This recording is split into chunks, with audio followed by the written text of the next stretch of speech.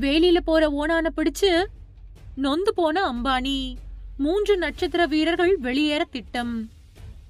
Mumbai Indians அணியின் மூன்று முக்கிய வீரர்கள் விரைவில் அந்த அணியிலிருந்து விலக இருப்பதாக செய்திகள் வெளியாகி வருகின்றன. ஹர்திக் பாண்டியா என்கின்ற ஒரே ஒரு வீரரால் மும்பை இந்தியன்ஸ் அணி மிகப்பெரிய இழப்பை சந்திக்க உள்ளது. ரோஹித் சர்மா சூரியகுமார் யாதவ் மற்றும் பும்ரா ஆகிய மூவரும் வேறு ஐபிஎல் அணிகளுக்கு மாற உள்ளதாக தகவல்கள் வெளியாகியுள்ளது.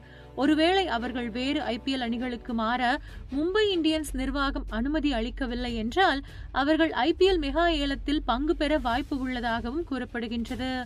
ஆக மொத்தத்தில் அவர்கள் மூவரும் மும்பை இந்தியன்ஸ் அணியை விட்டு விலகும் முடிவில் இருக்கின்றனர். இதன் காரணமாக இரண்டாயிரத்தி இருபத்தி ஐந்து ஐபிஎல் தொடரில் மும்பை இந்தியன்ஸ் அணி தனது ரசிகர்களை பெருமளவில் இழக்கும் அபாயம் ஏற்பட்டுள்ளது. அது மட்டுமின்றி மும்பை இந்தியன்ஸ் அணியின் பிராண்ட் மதிப்பும் பெரிய அளவில் சரியும் என கணிக்கப்பட்டிருக்கின்றது.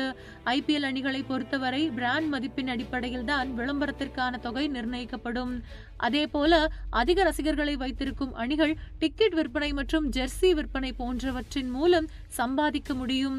இந்தியாவின் மூன்று முக்கிய வீரர்களான ரோஹித் சர்மா சூரியகுமார் யாதவ் மற்றும் பும்ரா ஆகியோர் ஒரே நேரத்தில் மும்பை அணியை விட்டு விலகினால் அந்த அணி பல வகையிலும் இழப்பை சந்திக்க நேரிடும். இது எல்லாவற்றிற்கும் காரணம் ஹர்திக் பாண்டியா தான் இரண்டாயிரத்தி இருபத்தி நான்கு ஐபிஎல் தொடருக்கு முன் பத்து ஆண்டுகள் வரை அந்த அணியின் கேப்டனாக இருந்து ஐந்து முறை ஐபிஎல் கோப்பையை வென்று கொடுத்த ரோஹித் சர்மா கேப்டன் பதவியிலிருந்து நீக்கப்பட்டார். அவருக்கு பதிலாக ஹர்திக் பாண்டியா அணியின் கேப்டனாக நியமிக்கப்பட்டார். இந்த தன்னிச்சையான முடிவு ரோஹித் சர்மா சூரியகுமார் யாதவ் மற்றும் பும்ராவை அதிருப்தியடைய வைத்தது. ஹர்திக் பாண்டியாவை குஜராத் டைட்டன்ஸ் அணியிலிருந்து தங்கள் அணிக்கு மாற்றம் செய்ய மும்பை இந்தியன்ஸ் நூறு கோடி கொடுத்ததாக அப்போது தகவல்கள் வெளியானது. நூறு கோடி கொடுத்து கேப்டன் ஆக்கப்பட்ட ஒரு வீரரால் தற்பொழுது மும்பை இந்தியன்ஸ் சரிவை சந்திக்க உள்ளது.